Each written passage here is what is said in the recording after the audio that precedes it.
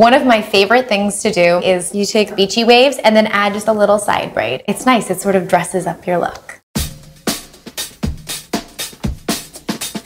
Ready? Okay. We're gonna start off this look with beachy waves.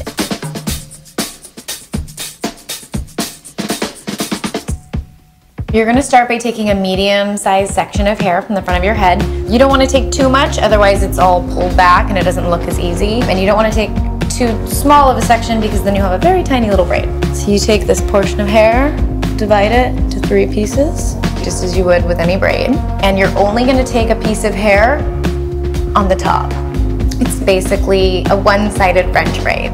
Braid, braid, top, braid, braid, final piece from the top. So I usually braid it till about here. It's like maybe two inches behind my ear. Take a medium-sized pin and you're gonna pin it by going the opposite direction.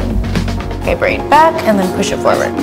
You can use as many pins as you want. I usually just use one or two. If you have any little flyaways or pieces that stick up, you can take a tiny pin and just pin it in and hide it.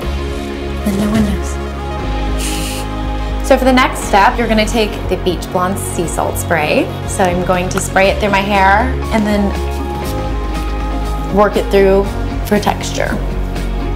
One of the nice things about this spray is that it gives you this great texture along with a matte finish so your hair doesn't look oily or greasy. So to finish your look, you're just gonna take some Sheer Blonde Crystal Clear Hairspray and just do a quick spray over your braid. And this is great because it locks in your style but it doesn't dull your color.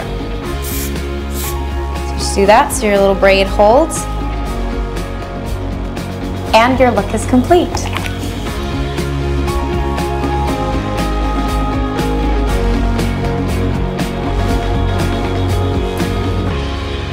Thanks for watching. Check out the John Frieda social channels for more videos like this.